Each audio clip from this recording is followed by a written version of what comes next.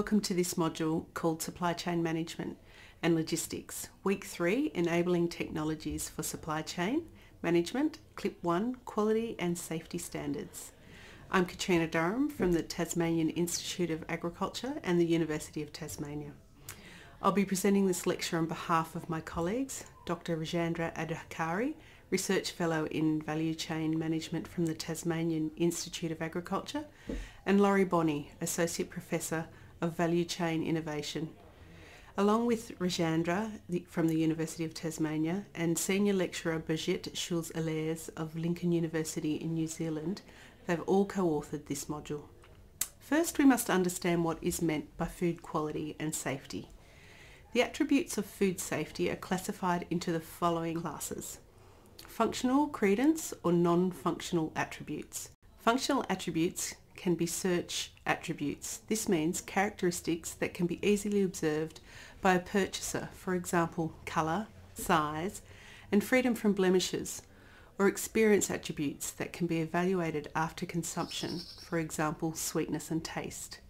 Credence or non-functional attributes are, for example, organic, hormone-free, ethically produced or sourced from a specific geographical region. In food systems, they can generally be categorised into five types.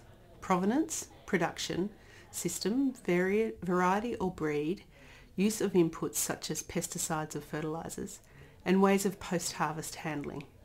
Product integrity or quality assurance systems provide auditable standards and authoritative backing for claims about food safety, provenance and sustainable production. QA systems add transaction costs for compliance, auditing and governments. In food systems, they can generally be categorised into five types. Provenance, production systems, variety or breed, use of inputs such as pesticides or fertilisers, and ways of post-harvest handling. Product integrity or quality assurance systems provide auditable standards and authoritative backing for claims about food safety, provenance and sustainable production. QA systems add transaction costs for compliance auditing and governments generally only get involved in regulating food safety. Food safety must be understood as a basic requirement so that in developed countries we would not expect to pay price premiums to be achieved by just adhering to respective standards. However, differentiation and price premiums may be possible in specific markets based on provenance or production systems such as organic produce.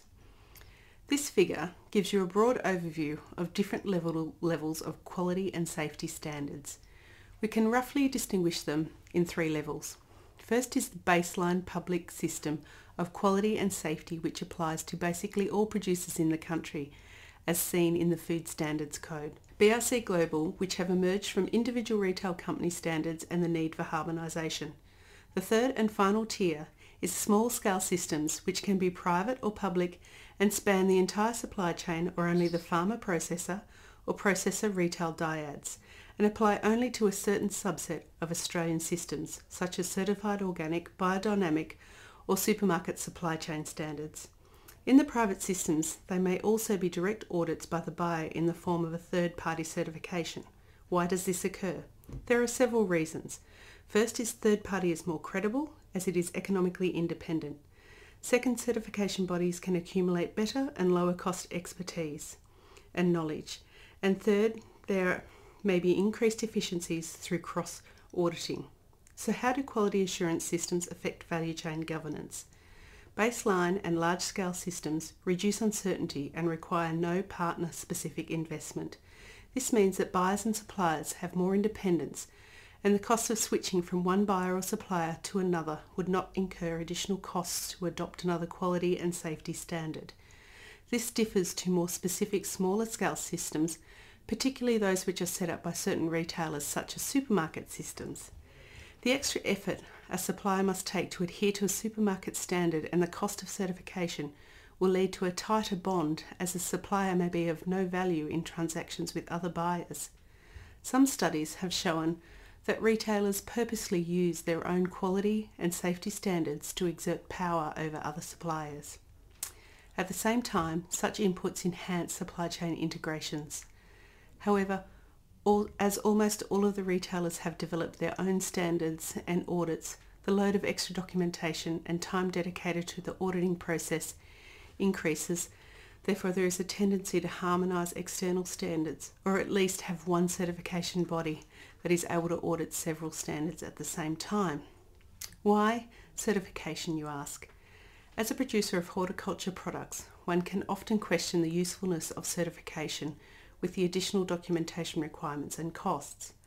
Of course, this may be a double-edged sword. On one hand, it's obvious in everyone's interest to achieve the highest possible level of food safety.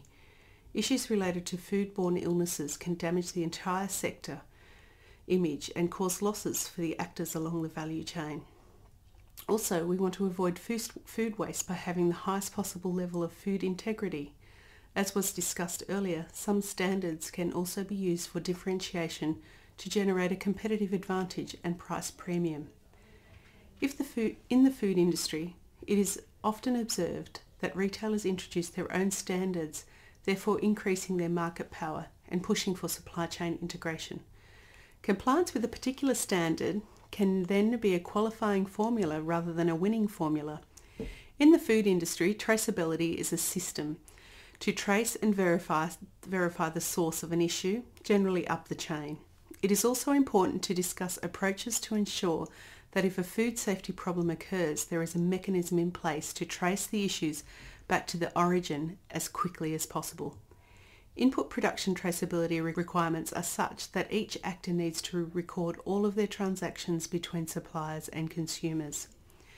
This is called the one step forward and the one step back principle. Technologies such as bar, alphanumeric and QR codes, RFID chips, wireless sensor networks, along with other databases can help with traceability. New technologies such as DNA analyzers are emerging in this field. An example of their use is to identify fraudulent behaviours regarding raw material provenance. Huge databases are now being built up to ensure a quick response. Quality assurance is quite a complex and sometimes highly political subject. Generally, quality assurance systems do not confer competitive advantage. They are simply a license to be in the game. Thank you for your time and next we will be discussing efficient consumer response.